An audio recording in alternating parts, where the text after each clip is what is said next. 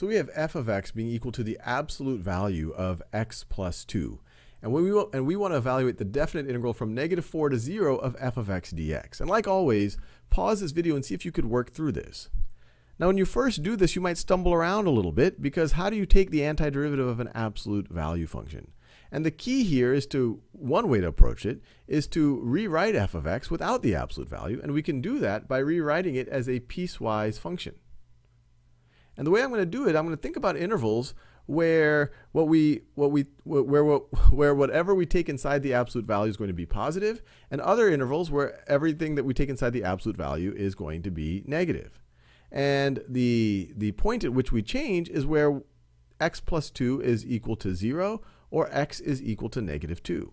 So let's just think about the intervals x is less than negative 2 and x is greater than or equal to negative 2. And this could have been less than or equal, in which case this would have been greater than. Either way, it would have been equal to this absolute value. This is a continuous function here.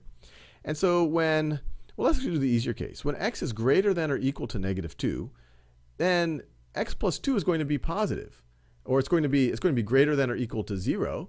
And so the absolute value of it is just going to be the x plus 2. So it's going to be x plus 2 when x is greater than or equal to negative 2. And what about when x is less than negative 2? Well, when x is less than negative 2, x plus 2 is going to be negative. And then if you take the absolute value of a negative number, you're going to take the opposite of it. So this is going to be negative x plus 2.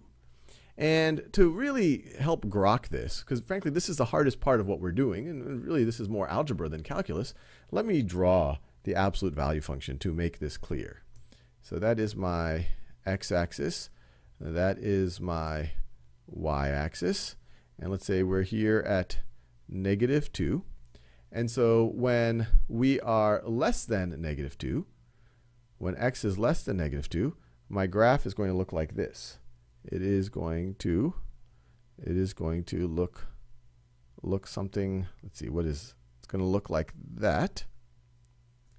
And when we are greater than negative 2, we do that in a different color when we are greater than negative 2, it's going to look like this.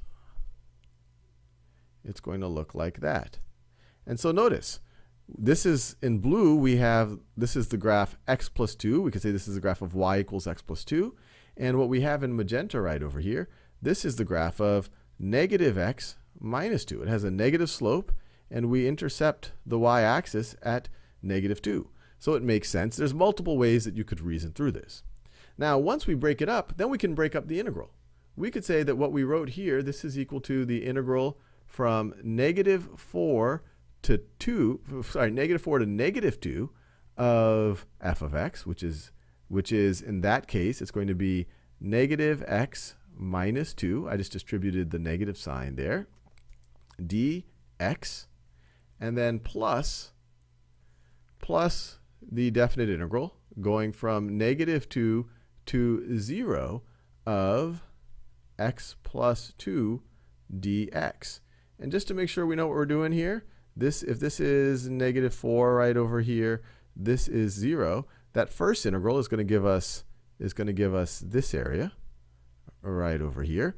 What's the area under the curve negative x minus 2, but uh, under that curve or under that line and above the x-axis.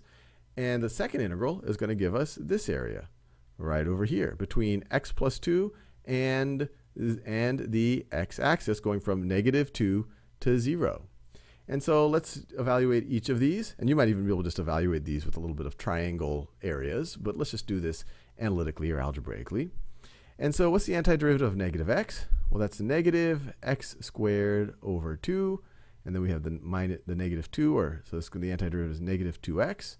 We're going to evaluate that at at negative at negative 2 and negative 4.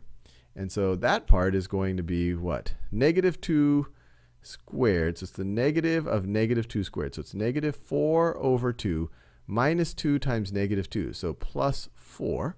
So that's it evaluated at negative 2. And then minus, if we evaluated it at negative 4, so minus so we're going to have minus negative 4 squared is 16 over 2 minus 2 times negative 4. So that is plus, plus 8. So what is that? What is that going to give us? So this is, this is negative 2. This right over here is negative 8. So the second term right over here is just going to be equal to 0. Did I do that right? Yeah, the 16 over 2, it's negative and it's positive. Okay, so this is just going to be 0. And this is negative 2 plus 4, which is going to be equal to 2. So what we have here in magenta is equal to 2. And what we have here in blue, well, let's see. This is the antiderivative of x squared over 2 plus 2x. We're going to evaluate it at 0 and negative 2. You evaluate this thing at 0, it's just going to be 0. And from that, you're going to subtract negative 2 squared over 2. That is positive 4 over 2, which is positive 2. And then plus 2 times negative 2. So minus, minus 4.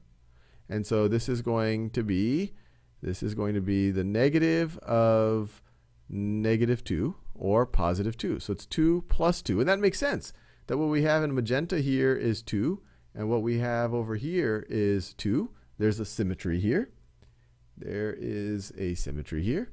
And so you add them all together, and you get our integral is going to be equal to 4.